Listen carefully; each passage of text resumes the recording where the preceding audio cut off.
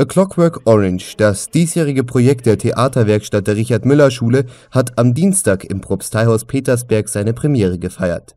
Das Stück, welches die Schüler frei nach dem Roman von Anthony Burgess erarbeiteten, handelt von der jungen, gewalttätigen Alex, welche grausige Taten verübt und dafür im Gefängnis landet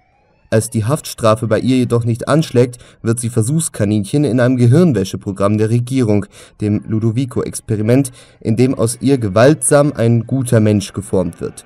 Die Story rüttelt auf, stellt Fragen: Soll der Mensch gut sein oder soll er sich frei für das Gute entscheiden?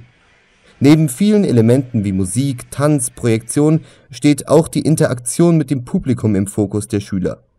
die Fragen, die diese düstere Dystopie aufwirft, gehen jeden etwas an, eben auch das Premierenpublikum im Propsteihaus. Am Ende steht der verdiente Applaus und die Aussicht auf weitere Vorstellungen am Mittwoch und Donnerstag